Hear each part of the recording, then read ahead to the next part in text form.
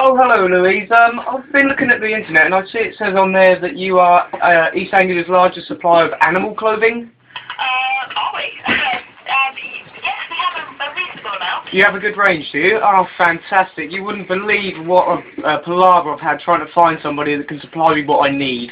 Um, Okay. what it is, I've got a family event coming up, uh, a wedding basically, Okay. and uh, with animal clothing, what it is is obviously I obviously want to take Gilbert with me, and he needs a pair of trousers.